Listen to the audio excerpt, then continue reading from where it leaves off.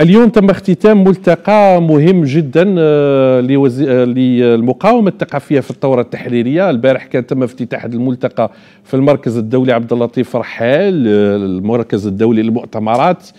أهمية هذا الملتقى أنه يؤسس لتبادل الآراء بين النخب حول دراسة ما كانت عليه الثورة التحريرية. الثورة لم تكن مجرد حرب وإنما كانت فكرا ونضالا آه، أيضا. نستمع إلى تصريح وزيرة الثقافة الدكتورة سوريا مولوجي على هامش هذا الملتقى الدولي الذي آه، كان حول آه، المقاومة الثقافية في ثورة التحرير.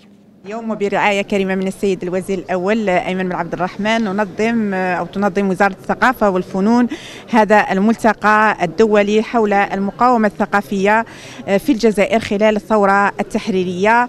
وهذا بطبيعة الحال لإبراز الدور الكبير التي الذي لعبته النخب الثقافية الجزائرية إبان الثورة من أجل النضال والتحرر.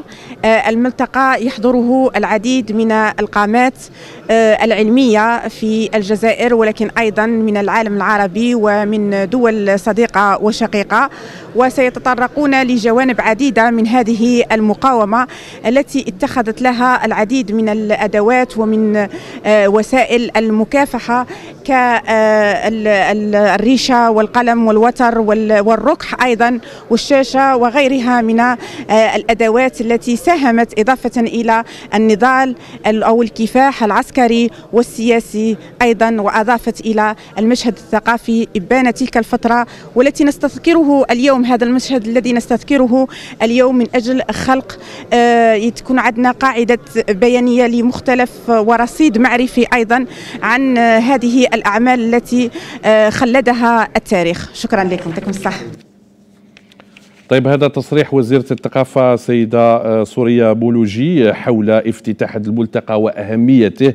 أيضا قالت السيدة مولوجي بأن الدور الثقافي الجبار في مواجهة آلة الاستعمار المتفوقة في كل في كل المجالات لم تكن حكرا على الجزائريين فحسب لأنها قضية عادلة.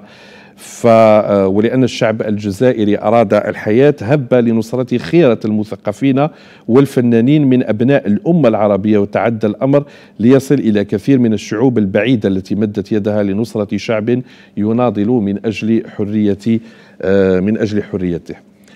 طيب هذا الملتقى أيضا أنا أهم شيء لفت انتباهي كانت مداخلات مهمة والوزارة اختارت موضوعا جيدا ويتناسب حتى مع ستينية الاستقلال والشعب والشباب الجزائري والأجيال الجديدة.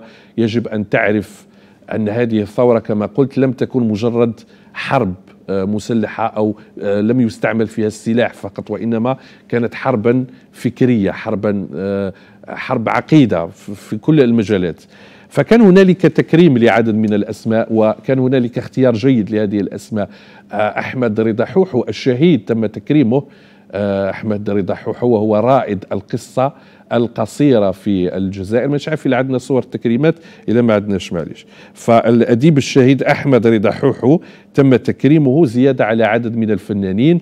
أبرزهم آه، أبو جمال اللي هو ربح أرسقي المعروف أبو جمال الممثل ومحمد مختاري آه، أيضا ممثل معروف آه، في الأفلام الثورية والفنان الراحل أحمد وهبي.